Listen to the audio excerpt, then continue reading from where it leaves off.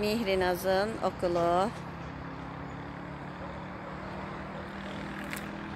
Bu da Bergama Kalesi.